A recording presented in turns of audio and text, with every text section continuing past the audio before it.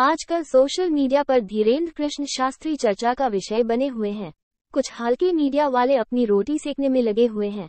मैं भी एक बहन के नाते धीरेन्द्र कृष्ण शास्त्री की सिद्धियों का विश्लेषण करना चाहती हूँ। सनातन ज्ञान का मतलब सिद्ध होता है। हमारे संतों में कई सारी सिद्धियाँ हैं, जो परंपरागत चलती चली आ रही है, कई बार हमारे ग्रंथों में खोजने से भी नहीं मिलते हैं। धीरेन्द्र कृष्ण शास्त्री जी को ये ज्ञान है कि किसी का नाम बता देना, उसके बारे में सारा ज्ञान दे देना। ये सब सिद्धियों के अंतर्गत आता है। हमारे धर्म ग्रंथों में धर्म शास्त्रों में, मंत्र महाराणाओं में इसका वर्णन आता है। ये सिद्धियाँ भी कई प्रकार की होती है। जैसे कर्ण पिचासिनी की सिद्धि, इसको सिद्ध करने के बाद कौन आ रहा है? कहाँ से आ रहा है? क्या नाम है? साधक को ये सब पहले ही मालूम पड़ जाता है।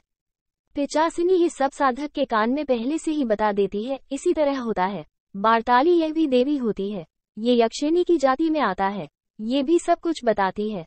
जो संत महात्मा बोलते उनके पास हनुमान जी की कृपा है, वो सही बोलते हैं, क्योंकि इन सिद्धियों को समझ पाना साधारण मानव के लिए ज्ञान के बिना मुश्किल होता है, क्योंकि हनुमान चालीसा तो सभी जानते हैं, उसकी महिमा का आभास भी हमें होने लगता है, लेकिन हनुमत तंत्र के बारे में कम लोग ही जानते हैं, हनुमत तंत्र में हनुमान जी के गण होते हैं, वे भी इसी तरह की सिद्धियों में आते हैं, ऐसा ही भैरव तंत्र में भी है, जैसे एक व्यापारी बहुत मेहनत करके धन कमा लेता है इसी प्रकार संतों में भी सिद्धि परिश्रमण है।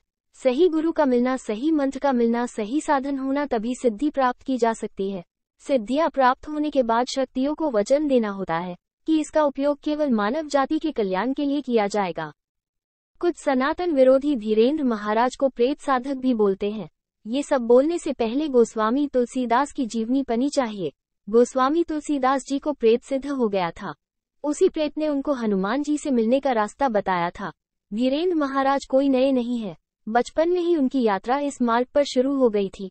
सनातन विरोधियों और हल्के मीडिया वालों धीरेन्द्र कृष्ण शास्त्री से सवाल जवाब करने से पहले शास्त्रों का अध्ययन कर लो के आदे में रहोगे तो फ़ायदे में रहोगे। जय हो बागेश्वर धाम की। दोस्तों, इस बहन के तर्क से आप कितना संतुष्ट हैं, कमेंट में ज़रूर बताएँ। जय हो बागेश्वर महाराज की जय हो। जय हो सन्यासी बाबा की जय हो।